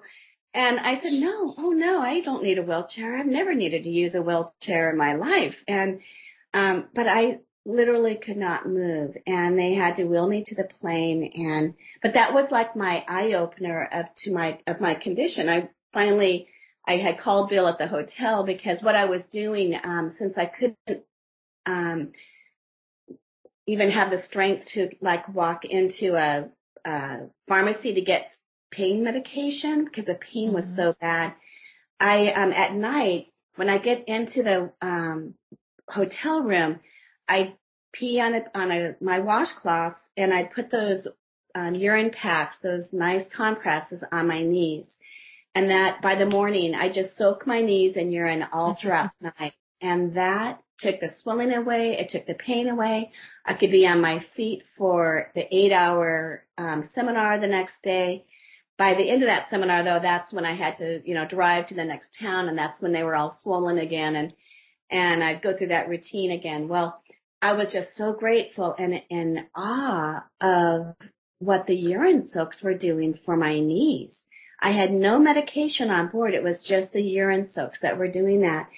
And I'm on the phone to Bill all the time, like telling him, and he's encouraging me. And so that's when I made my appointment with my doctor. And um, she had, and I rarely ever see doctors, so uh, it really takes something big to have me um, see a doctor. And so um, they did X-rays of my knees, and I ended up with this diagnosis of significant um, deterioration of both knees uh, with this osteoarthritis. And um, basically, with all the stress I've had to my knees, um, the high cortisol levels, and what I was been doing, I, I just didn't. I, I'm like bone on bone, and there's um, so she wanted me. She said this is a chronic condition. I'll never get um, well from this.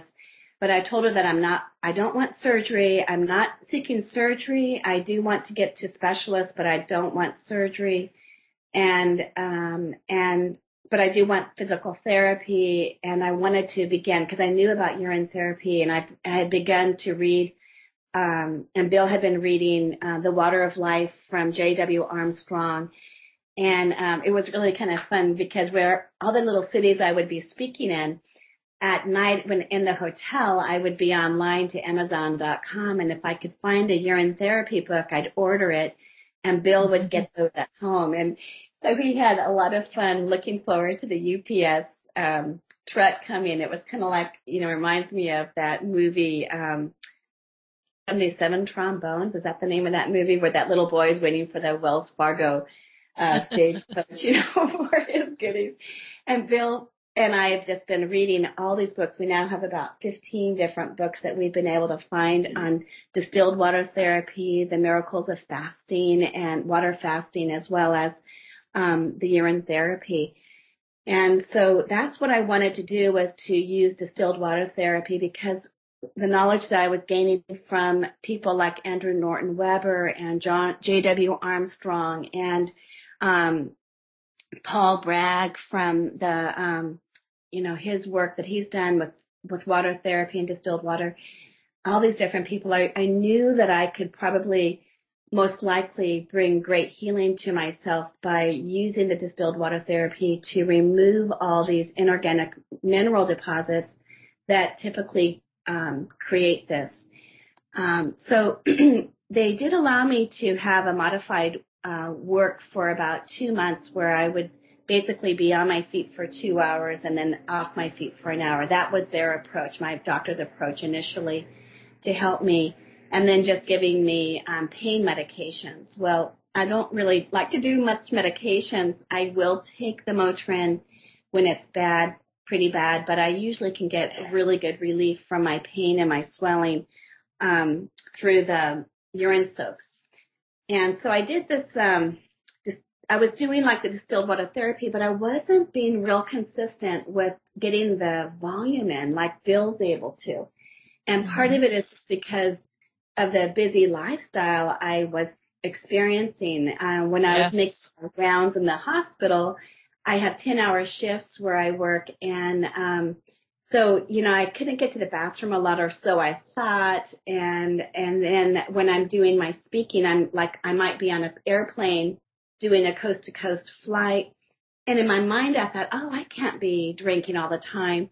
But you know, I just started to analyze it and there's ways that I could start doing this. Like I would, um, like when I was traveling, cause I also, another condition I have is when I was caring for my late husband, I, I basically in his last six months with his brain tumor, um, he was 24/7 care, and um, I never got any sleep because I needed to constantly do his range of motion and, and make sure he didn't have a seizure and um, do all the massaging and juicing for him. We were doing about 10 to 12 different holistic protocols to save his life because he only had a two week chance of um, they only thought he was going to survive for about two weeks with his first di- with his diagnosis, but we were actually reversing through holistic practices this aggressive tumor that should have killed him within two weeks, and we we were able to get him um, for six months. He would have been, I think, saved, but he ended up with some other complications, which I won't get into that story. But that left me with um, after he passed over it left me with a very decreased immune system and I ended up um, also having significant black mold exposure. So my lungs were just shot. My sixth chakra, my fifth chakra, I should say, was just under under um, major torment. And so every six weeks I was coming down with pneumonia. Wow. And and that if you've ever had pneumonia, you feel like you've had a vacuum just take all your energy out. It's really challenging. And, and I had used up all my sick leave to care for my late husband. So my, where I worked, my manager had made, if I, I just didn't have any sick time for myself and I would have been, um, lost my job had I called in sick, even with pneumonia. So um, I had to go to work and and um, I just kind of deteriorated my my immune system majorly, and so um, I I get really ill easily with my lungs. Like any cold or flu, bam, I'm down. So Bill was in my life um, within a a year or so after my husband passed over, and he knew the challenges that I was having with all these colds and flus. So um, we finally figured I needed to start boosting my immune system. We had no idea about urine therapy at this point. and um, we we be, we started to discover certain um, essential oils as well as um, like really high form, um, really expensive kind of supplements with these uh, garlic supplements, and um, also we were using the MMS, the sodium chloride. Yes, and I'm familiar with that. Mm-hmm. Yeah. And it is good. It's really good. But for me, if I did not have those on my being, because I was literally getting sick probably every three to four hours, so I'd have to dose up with these kind of agents, then I would, um, I could stop the illness and move on. But if I didn't, if I forgot those agents, or if I ran out and I'm on a trip, bam, I'm down, what not with just a cold, but with pneumonia. And that was really a challenge. Well, with urine therapy, I am just amazed. My health is so much better. And that was one of the first things I was so excited about was because uh, I didn't realize I had the arthritis at that point. I now don't, Bill and I haven't had to order any of these expensive supplements for over two years now, or a year, I guess it's been, because we just simply drink our own urine and we drink right. the distilled water.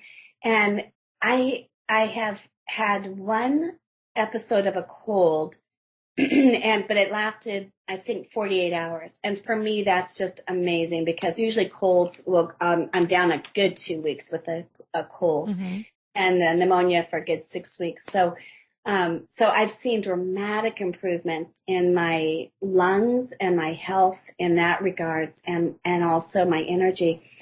But with the um, my knees, I wasn't quite getting the full gallon a day like I should. I started trying to improvise though, like at work I would carry my um like a uh, you know how like a Starbucks kind of um yeah you know coffee thermos. cup yeah thermos yeah. or something right and so um when I'd go need to go to the bathroom I mm-hmm. I thought you know there's no excuse why I can't be drinking all my liquids while I'm at the at work in the hospital either because every um nursing station there's a bathroom there so I can just take my cup in and and um fill my cup and and ha- get, take my medicine. You know, there's and it's not no one knows. It's not going to be gross to anyone else. And then I just carry mint on my card and and um you know and so you learn to develop a lifestyle with this and it works for me and it works for everyone else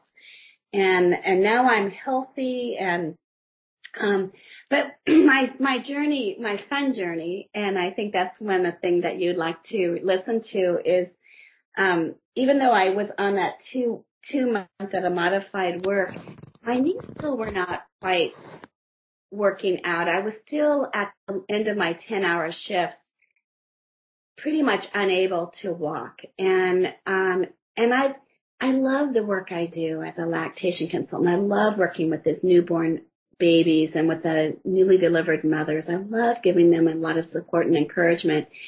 And I love the place where I work. They're just wonderful people. And so, um, I was at this point where I was, my manager shared with me that if I, cause I needed to get, I, since I couldn't walk at the end of my shift, um, I, there was days I could barely make it to my car. And, um, they don't really allow nurses to use walkers or um, canes when you're at work.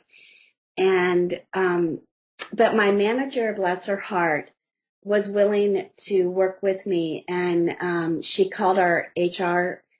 They gave me a case manager, and they gave me the approval to order um, a seated walker so that I could at least walk around and then sit at my patient's bedsides while I do my consultations. And I was so grateful for this because I really didn't want to have to lose my job or retire earlier than I wanted to, you know. Mm-hmm. And um and so they ordered the walker for me and so I had some hope here. But lo and behold, they denied my walker. and um it was just for a technical reason. It was because I lived out of the service area. But that prompted me to write, email my doctor again and asked her, could you please give me a, a six weeks medical leave where I can be at home to do complete knee rest because I needed to get complete knee rest. And at first she was not going to do that she said, Cheryl, you just have to realize this is not, this is a chronic condition. You're going to be with this for the rest of your life. And if it was like I just sprained an ankle, it's a, an acute condition, she, she would have given me the, um, medical leave.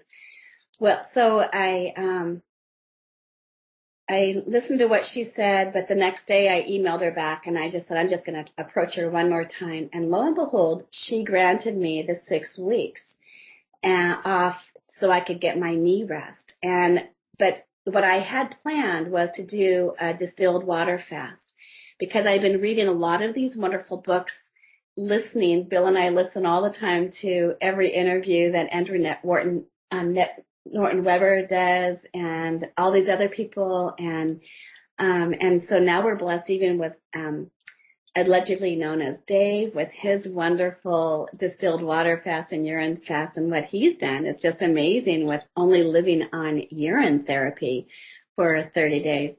And so, um, I also, in addition to th- these books though, I found online a wonderful book, um, ebook, and I also was able to order a book from the same author. His name is Herbert Shelton. And Dr. Herbert Shelton was a naturopathic physician who lived about the same time that J.W. Armstrong did. And Herbert Shelton worked with, I believe, over 40,000 people on water fasting. Now, Dr. Shelton did not know about um, or he never talked about distilled water. He was mainly talking about water fasting. Same thing like with J.W. Armstrong. He didn't talk so much about distilled waters. I don't think they knew about much about the distilled waters. And that's the blessing that we have nowadays with Andrew Norton Webber that he's bringing and tying the two therapies, urine therapy and distilled water therapy, um, into our, um, our focus and our attention now. So um, what I was able to do was um, with Dr. Herbert Shelton, he worked successfully with over 40,000 people in curing many of these uncurable diseases such as arthritis and cancer and and um, uh, just uh, you know the long slew of health issues that we deal with chronic conditions and fatal conditions and he was able to do this through water fasting so i really liked reading his books also because he was able to um, let you know when is um, what's the difference between fasting and starvation. And he goes into detail about what to be looking for and all the positive changes and the different um, stages that we go through as we enter a long fast. So in my earlier days, um, when I was having my doing my bachelor's and my master's um, uh, in holistic health, I had I used to do a lot of one and maybe three day fasts, water fasts, but I've never did like a 10 day or a 21 or a 40 day. And so when I, when I got the blessings to be able to finally get this time off to, um, focus on myself. In fact, as soon as she gave me the green light to take the six weeks medical leave off, I immediately started typing up a little chart and I called it Camp Cheryl because my whole focus was for the next six weeks was not to take care of anyone else. It was to take care of me. And I have never done that before. Um, I, I don't know if I've ever done that before in my life. So, um, I wrote out a protocol. I was trying to develop my methods like Bill has his methods of keeping him on track that he has the gallon to a gallon and a half of his distilled waters on board. And I was coming up with my chart to make sure that I would be on track as well. And, and I was going to just give it a try. I, um, had, th- I basically, I, I was under the care of three different physicians. Um, my Kaiser physician, um, was, uh, had agreed that she would be willing to, um, do my chem panels throughout this. I was upfront with her and I told her that I was going to be doing a 40 day water fast. She didn't really say anything about it. She didn't even want to pry into this at all. She was just like, okay, okay. But I said I would like to, um, if you don't mind, at the beginning and midway and at the end, do a chem panel for me, because you know everyone who um, you, you talk to about a fast, they think you're crazy and they they think, well, you're going to, you're going to like leach all the chemicals out of your bones. And so I wanted to um, verify and prove to them that this is safe. And so I was able to get my chem panels um, done um, before, and I got them done at 21 days, and then um, at the end. And um, and I, so I had validation through my own labs that um, throughout all the fasting and I was basically on 40 days of distilled water and urine therapy. Um, I did, if I, um, I did, the only other, the only food I took was occasionally if I got really hungry, which really, I didn't experience much hunger. It was more that I wanted to taste something. And, um, but uh, what I did was I would eat a little piece of a small slice of watermelon because my late husband, um, he was also into holistic health and um, he always said that distilled water was God's best form of, I mean, watermelon was God's best form of distilled water. and so I felt, well, that was going to be in alignment with my distilled waters therapy.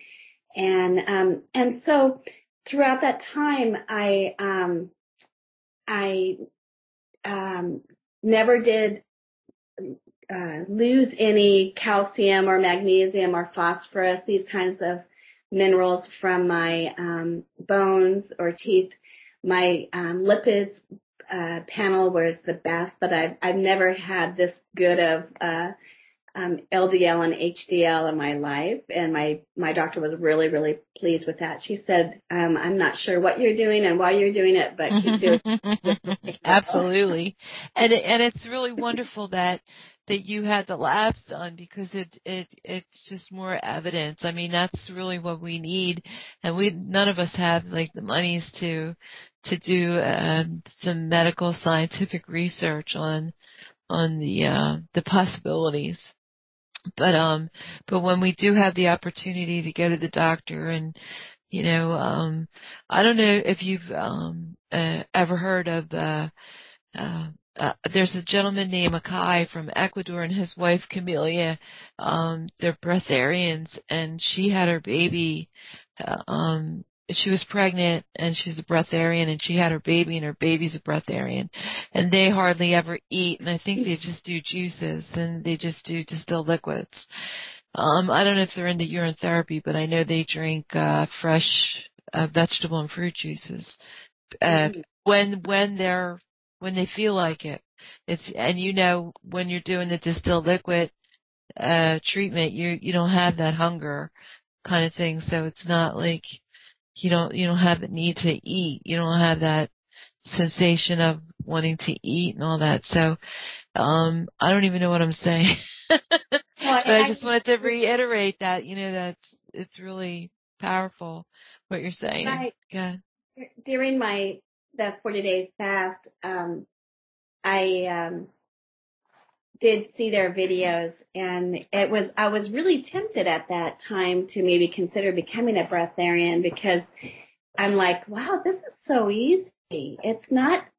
I, I didn't tell a lot of people that I was doing the fast. The only times I really kind of shared it was if we'd be out and um, like we'd be invited to a restaurant or like we were at a wonderful three day um, meditation event in Berkeley, and um, you know when you're out with people, they ex- and you're sitting at a table, they expect you to eat, and I didn't want to appear rude, so I just um, kind of quietly just stayed. You know, I'm on a little fast right now, and and I don't mean to be rude by not eating any food, but I'm very happy with the water I'm drinking, you know, and so.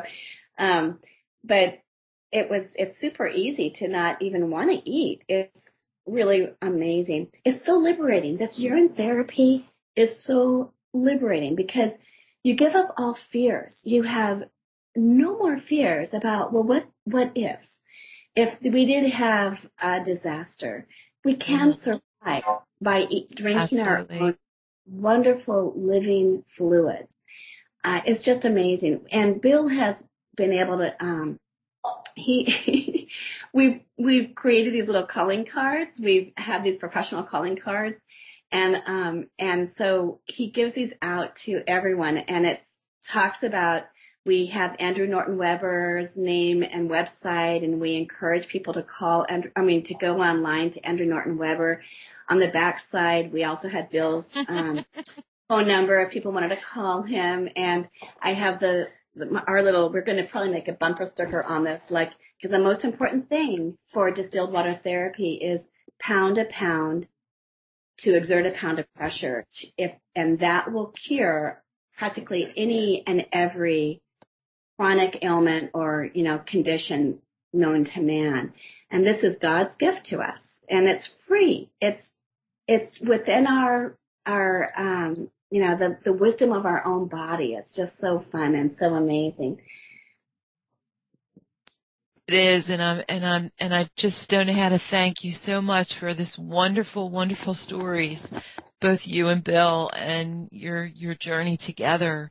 of uh, distilled liquids in therapy and and your recovery from cancer and arthritis and and I, mean, how do you feel about it now that you've had the opportunity to to share with everyone that um the beauty of your story how does it feel because this is this has to get out.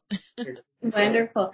Bill wanted me to just to um, let everyone know though too that I've gone from you know being so um, challenged with being hardly able to walk to I'm about 80% better now than I was um, just a few months ago when I began when I finished the um, 40 day water fast. And um, and it's it's a journey for me. I need to continue to what I've done now. I know I've cleaned out all of the inorganic um, mineral deposits throughout my joints.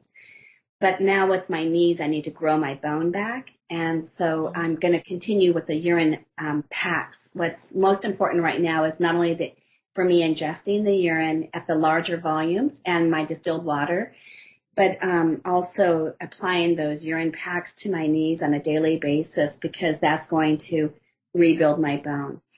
Um, so yeah, but thank you so much, uh, Chrissy, for providing both Bill and I the opportunity to share our story and our journey.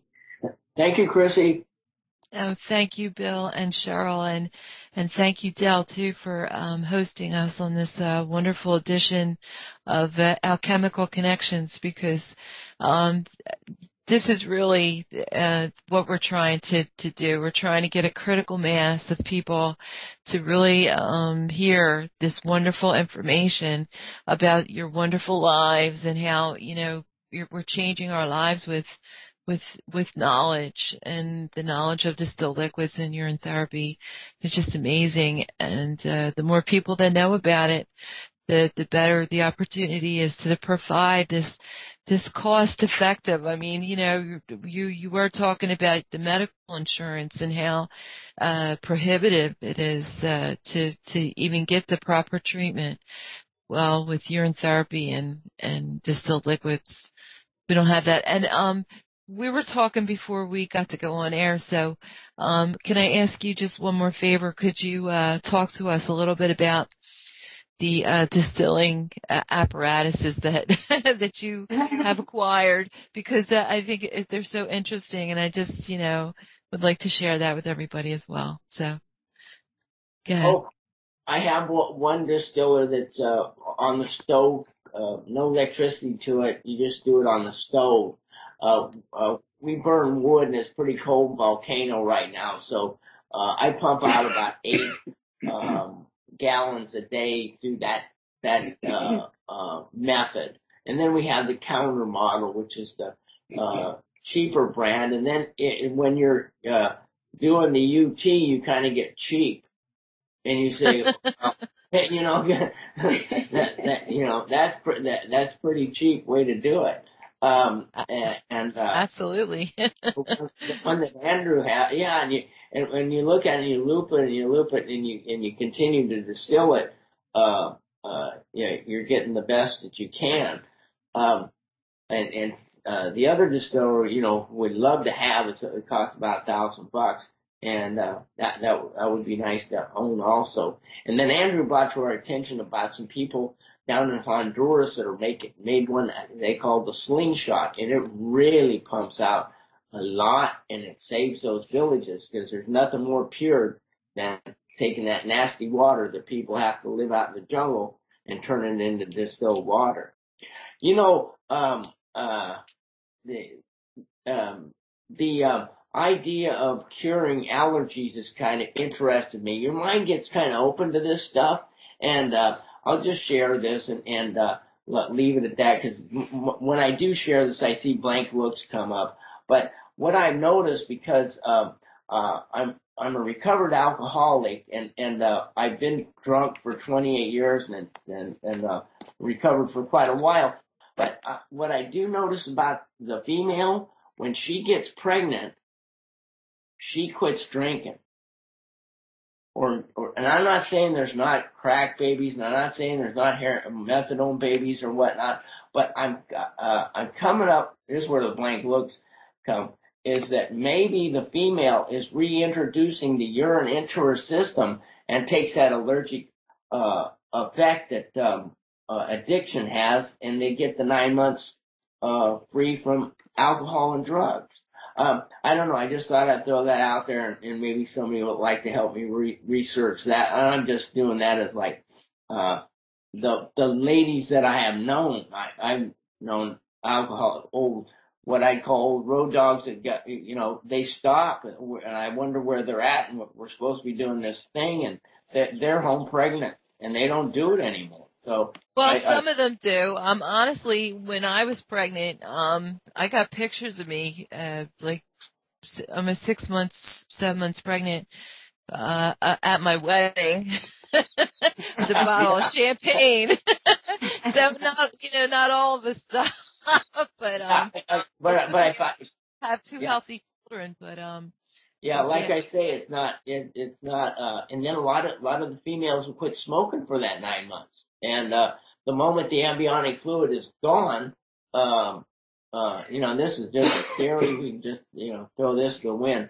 Um, they celebrate, and then the, then they're back back. Uh, I can attest to that. Listen, we have a caller. Um, I think their name is Dan Michelle, and they would like to ask questions. Um, I actually don't. Uh, can you hear me? Hi. Yeah. yeah. My name is Dinus Mickle. Hello. I'm sorry. all right. Um, actually, I don't have a question. I um, I run the little website, uh, the member community at urinetherapy.org, oh. and um, huh. and you know we've been chatting while while while you were doing your doing your show, and um, uh, all I can say is, let's see, there are two things that I think are pretty important um, that that might be a contribution to the conversation. Um, one is we were chatting about uh, about about money actually, and that's something that I think is um, an interesting discussion to have for people in the urine therapy community. So ownership of your own words, ownership of your own videos, because I had a urine therapy video removed by YouTube. And so then it goes, all right, well, YouTube owns your video, right? So do we own our, do we own our words? Do we own our intellectual property? And then it gets all the way into, do we own our thoughts if we, if we think of it through, through that, um, perspective. And then it's like, all right, you know, then the second topic that is, so there's money as a topic, so money in urine therapy. Um, is it appropriate to ask for money for stuff, basically? Um, and then there's um, what you guys just. What was I gonna do? Um, and then you guys, you know, you guys did just mention a um, a water a, a distiller that costs a thousand dollars. Um, so stuff costs money. How do we relate to that when we know the power of urine therapy? How do we also relate to the need that many people have to be anonymous in the urine therapy community? That's another one. Mm-hmm. Um, so those are a few, and I had another one, but I'm not thinking of it right now. So do you find that relevant or interesting at all? I, I find that amazing that you um had to wait to the end to come in and and and it's like you know a whole another day conversation. Um, um, can you say your name again? Because I, I don't want to chop it up again. It's Dinus. Dinus Mitchell. Mickle. Mickle. I'm sorry. Dinus Mitch- Mickle. I'm so honored to meet you, and I'm, and I, and I'd like you to repeat your website again, and I'd, I'd like to get more information about how people can uh, get in touch with you, and and possibly. Um, we are on Awake Radio, so um, we're really fortunate that even though we're going through Skype, um, uh, it is on private access um, internet radio station. So um, it's it's not YouTube yet, and it's funny. I was going to make a YouTube out of this um, information. So um, I think that's something that I would like to discuss more with you, and also I would like to know more about your um, your philosophy about um, about cost and uh, monetary, uh, you know, benefit of of the work that we do and and how how we process this information. Um, I've never been good with that. Um, I'm social worker to the to the to the eye teeth, and I'll give everything away. In fact, I'm a good beggar. I'm good at like getting things from people, but I'm not good at taking them. So And you this know, voice, this is Cheryl, right? Am I talking to Cheryl? no, this Yes. is Chrissy. Oh, that's Sorry, go ahead, Oh, that voice is Christy. Mhm. Chrissy. Yeah, Chrissy, not Christy. Chrissy. Yeah, Chrissy. Yeah, I understand that. I, you know, it's a painful admission of mine, but I actually think that some people are walking around on, on, on the planet for whom even sort of this law of attraction or law of reciprocation just doesn't really stick. You walk around and you give and you give and you give, and it's like the universe goes, yeah, that's your function. Yeah, yeah, maybe, maybe. Um, but one thing that I really would enjoy um, also uh, pointing people to is I have an anonymous post um, at urine-therapy.org, and it's titled um, "What if your practice of urine therapy is used against you in a child custody case?"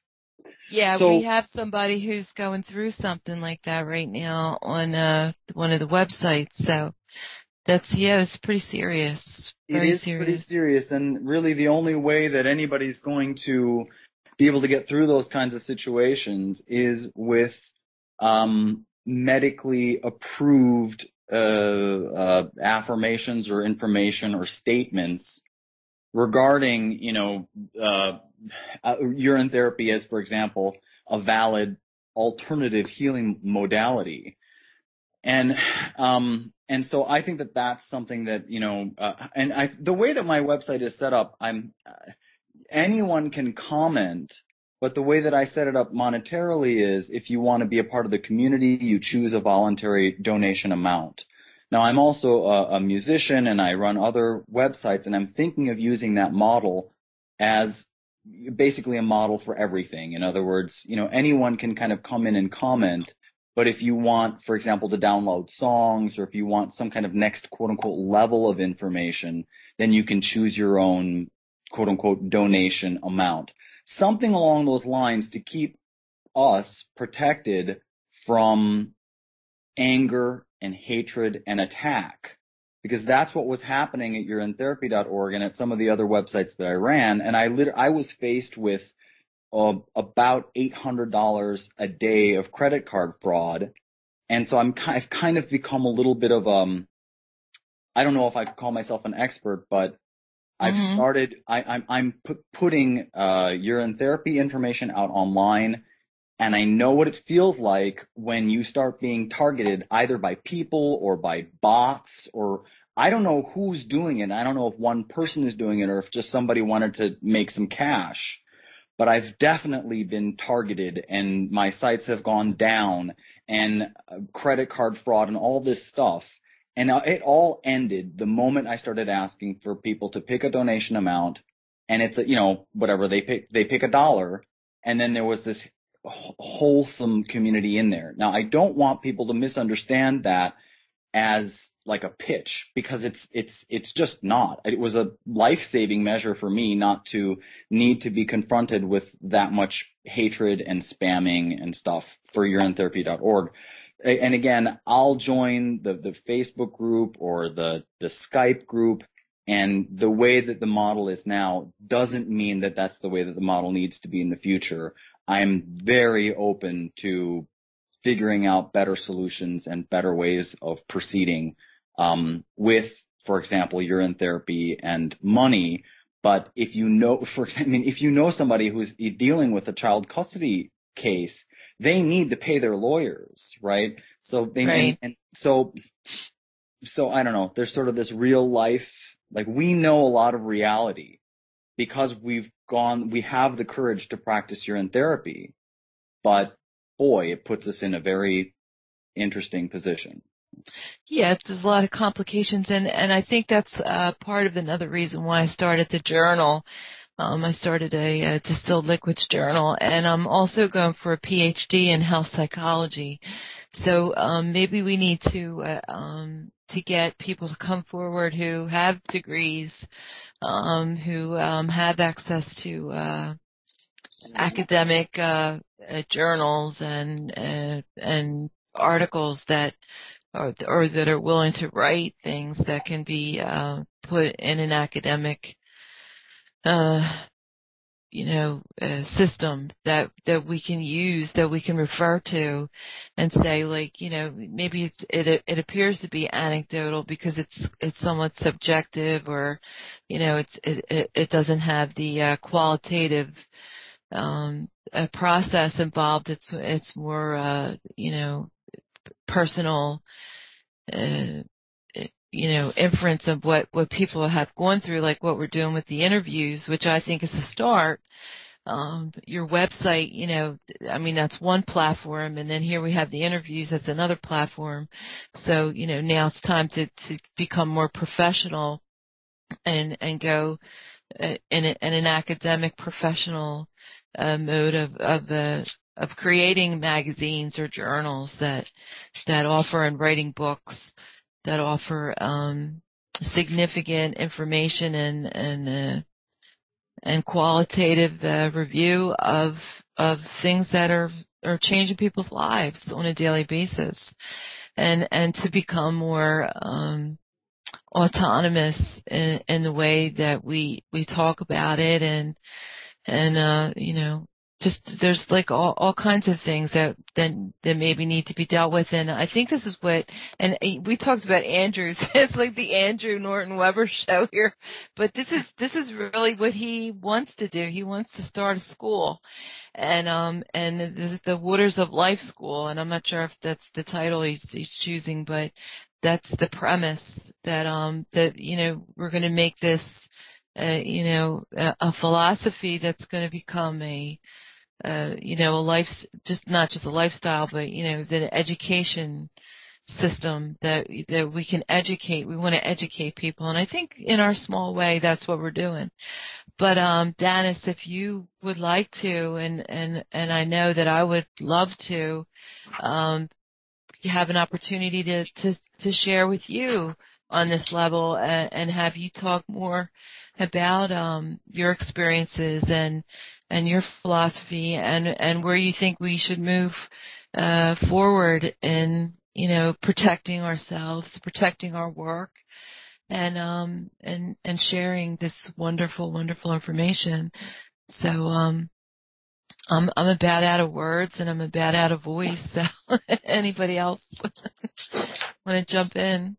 Well, to regarding um, Andrew Norton Webber, you know, as far as I understand it, he has a sustainable income source. I think they sell his wife's artwork. I think that that's fantastic, and I think that he did something absolutely brilliant. And he's calling it the Distilled Waters Conference, and it's in plural. So there's machined distilled water, there's the fruits, and I don't know, there's something else, and then there's urine therapy. So in other words, it's a way of making urine therapy in uh, become a part of, something that's larger and uh, and a much less uh, vulgar uh, overarching topic. Distilled Absolutely. water that's stuff that people have seen on the shelves at grocery stores or in the you know auto mechanics department things and people put distilled water in their in their irons to keep them from uh, calcifying um, so that's been a, an absolutely brilliant and in my opinion at least from my experience a very recent move. And it's great.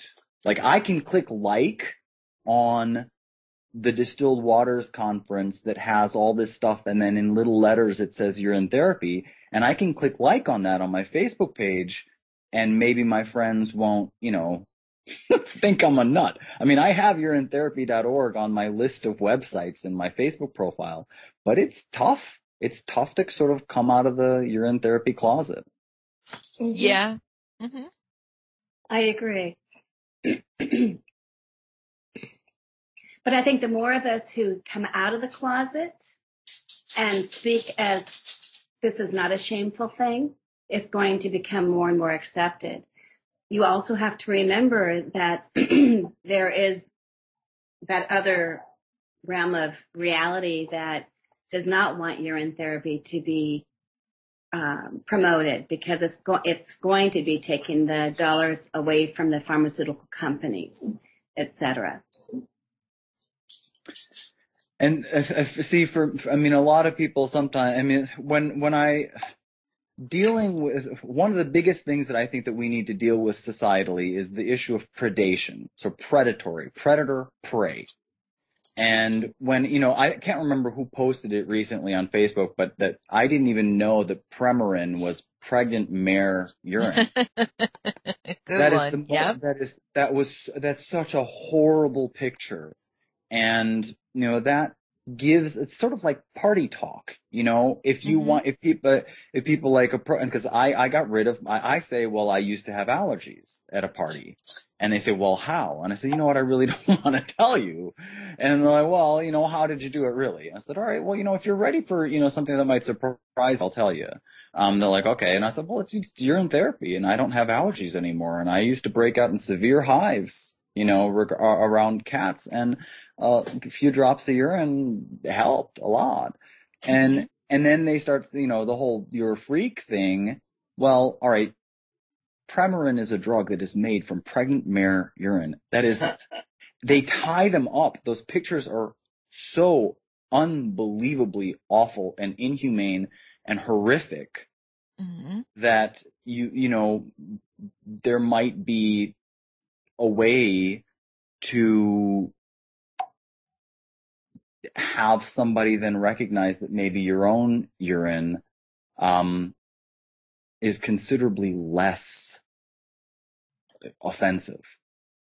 I think these kinds of um, forums that like Chrissy is doing with the, the radio shows and the websites, the YouTube videos, the more we can get this out, that urine, urine is using another person's urine in our own eyes, urine. Why not use our own urine to remove the redness or the allergies of our eyes? You know, so the more we can all come together and make this as a normal thing, it's going to become more accepted. Absolutely. Uh, Chrissy, I wanted to share one other um, wonderful testimony from a friend of ours that has been on urine therapy. He, this is a man who um, is an older gentleman, probably in his um, mid 60s, and he's had uh, an annu- um, aortic aneurysm, which is pretty pretty dangerous. You know that this is an outpouching of the aortic artery, and when people live with an aortic aneurysm, it's a very scary existence because once that bursts, they can be dead within a few minutes. Uh, and because of a lot of pressure on that aortic artery that's pushing all this fluid throughout our body. Mhm. Well, uh, he started out um, with Bill about three months ago, used on both distilled water therapy and urine therapy, and um, he just went to his doctor and see.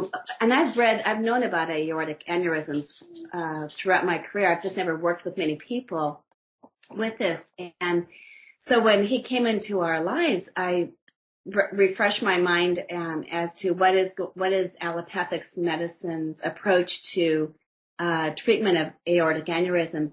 What they do is that when the when that outpouching, that softened area of the artery gets to be too large, like five millim, five centimeters, that's when they'll do surgery. So people who have an aortic aneurysm have to wait. They feel like they're a ticking time bomb. They have to wait and wait and wait until it gets big enough where they can get the surgery. Oh, So- that sounds terrible. I know. It's, it's really, you know, you can imagine the, Mm. the anxiety that people have to live with every day. Well, Ron started, um, with our, his distilled water therapies and when he went into the latest uh, doctor's appointment, this doctor was shaking her head. She said, we don't know how or why this is happening, but your aneurysm is shrinking in size. And it went from 4.1 down to 3.8. And that's unheard of. So, uh, I think that was just like so amazing. It's just another one of thousands of testimonies to the amazing healing properties that our body has to heal itself through um, urine therapy, in addition to the distilled waters as well. Amazing. Thank you for sharing that, Cheryl. That's wonderful. You're welcome. Wonderful. This is a wonderful day, and I'm so I'm so glad this other gentleman got to come on. Mm-hmm. Thanks Yeah. for having me. Wonderful. God bless you, and, and I hope we can get in contact with you later. Just contact me. I'm I'm the only Dinus W. Mickle on this planet of ours, so um, I'm very very easy to find. That's wonderful. Well, we, where are you located, Dinus? What state? I'm actually in Vienna, Austria right now. Oh, okay. wonderful. Okay, So I was going yahoo. How beautiful. Well, thank you. And um, Dinus, would you be interested in, in doing an interview? Sure, Um, sure. Just get in touch.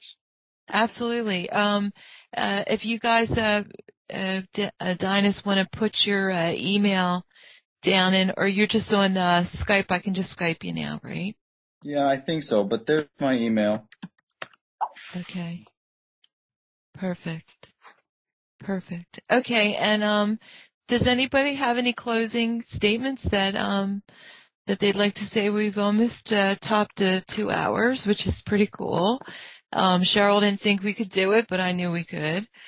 So, um, a- any closing remarks or comments that anybody like to make? Bill and I are both very happy to talk to anyone and everyone about our personal journeys and to assist people in their own health um, journey as well. And we just wish everyone the best. And uh, just remember, though, that if you're really wanting to cure yourself from a significant condition, it's not just sipping on distilled water. It's not just taking one ounce of urine um, the first void in the morning. You do need to have that gallon to a gallon and a half, pound that pound a pound a day, you know, seven times a day to exert that pound of pressure. And you're going to be on your way towards amazing health. And not just physical health, but amazing spiritual and emotional well-being as well. Thank you so much. We really appreciate the opportunity to be with you all today. Thanks a lot. It is the true foundation on all of them. Mind, I body, think- and And it's something that maybe the audience might notice is that, you know, I have not gotten to the, to the gallon point and I am, I think, perceivably less secure with, uh, quote unquote, the message than, uh, than, than, than the couple here. You know, they've been at a gallon or more, uh, a, I guess, a day for a while. And I think that, the, uh, you know, I can state pretty clearly that I feel the resonance and the strength of their message and I'm not there, I'm not there yet. And that Mhm. might be a reason for uh, particular ways, uh, particular uh, aspects of how I present myself online and publicly, etc. So I'll, it, I, I'm motivated to to get to that level now. So thank you for that. And I'm also available for discussion and something that might help people. Um, also from the legal standpoint, is it took me a long, I, I had a huge long disclaimer thing and now my disclaimer is if you want to communicate with me by email or whatever you want any kind of advice from me, I say I communicate with people who take 100% responsibility for their own health and actions. And that's my entire disclaimer. And I think that that can maybe help people who are just starting to post information online and are sort of feeling out their way and they don't want to get sued. So uh, we, I communicate with people who take 100% responsibility for their own health and actions as sort of a safety measure. So again, get in touch. If you like something or don't like something that I do or the way that I do things, let me know. And uh, Danis, do you want to uh, repeat your website again? So Sure. we have It's, that. it's just urine and then with a dash therapy.org. Urine hyphen therapy.org. Thank you so Thank much you. for having me on. oh, thank you for coming and, and thank you for listening. Uh, It's just amazing that, you know, that we have people that are, that are so knowledgeable of urine therapy that are listening to us really novices that are dabbling and, and, and trying to change our lives and, and share this, uh, wonderful discovery that we know is, uh, like our poster child, Cheryl, Cheryl said, you know, this is just an amazing, uh, a course of action lifestyle that that that works and and we just want to share it we just want to offer this to everybody who who wants to listen and thank you I so much thing. I had a really cool experience. You know, after you and I had sh- talked on the phone yesterday, and then I went to the kitchen and to make a snack, and my um, I rent a room here in Sacramento, and and um, my roommate had a one of those new mandolin slicers, and I was going to make a little juicy kind of thing. I sliced my finger, a good portion Aw.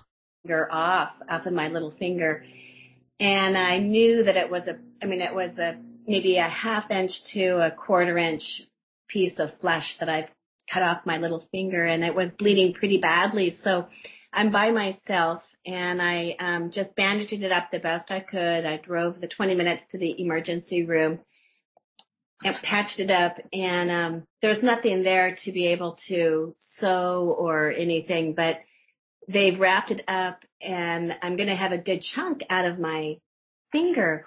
Well, what's been the most amazing part of this experience is there's, there's no fear, there's no qualms. And I called my sweetheart Bill and I said, you know, I'm just heading over to the emergency room, uh, to get this taken care of. And um, I said, you know what's going to be so fun is once I get this big bandage, this pressure bandage off in two or three days, uh, I'm going to start urine packs and I'm going to grow my finger back. good for you and, and that's Take the piece. just- Why didn't you take the piece of flesh right away and cover the whole thing in a urine gauze? well, you know, I didn't, wa- I didn't want to. It was, it was um, flowing so bad that I, if I took my hands off my finger, that hand off the finger, um, I didn't want to lose that much blood because I didn't want to Uh, you know, like pass out. So, um, and I didn't want to take that gizmo off and cut myself again.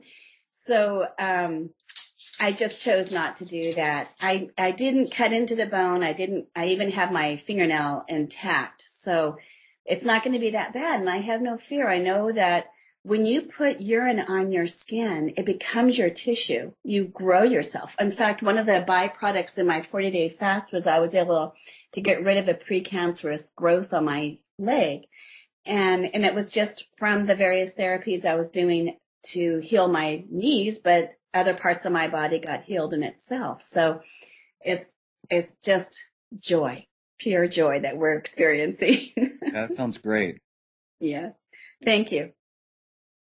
Yes thank you everybody and um I guess that's the end of our show for today. Um, thank you, Del. Thank you, Awake Radio, and and thank you for our guests, uh, Bill and Cheryl and Dennis.